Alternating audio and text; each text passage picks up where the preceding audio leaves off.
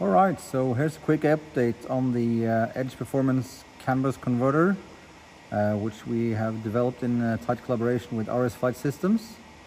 Really happy to see this product finally working and fully integrated. So we have it basically tied in to uh, the GEA 24 um, external module from Garmin. And then we have that tied into the Garmin G3X so as you can see here, we're displaying our manifold pressure with our throttle position sensor, which is currently set to 100%. See our RPMs, our oil pressure, oil temp. we come over here, we have our four EGTs. We have our coolant temp, manifold intake temp.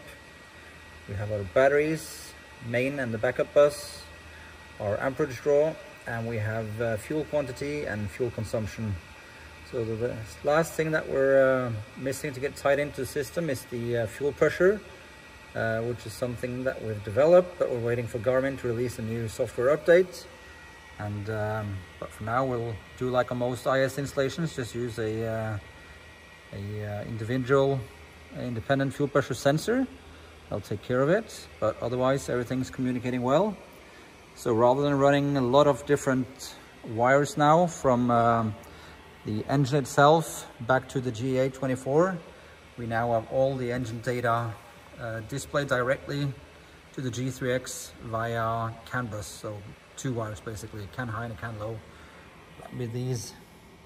So very simple, very convenient, uh, very stable, and it um, takes away the need for uh, dual sensor setups on the engines. So this will at some point be implemented to all our EFI kits, all our engines. But for now it's um, available for the 917 and 918 TIs, as well as the STI Gen 2. And uh, it will obviously also work on all other EFIS systems, which are compatible with the Rotax IS protocol. So very stoked about that. And uh, we can't wait to get this thing up and running, take it for a spin and see how it performs.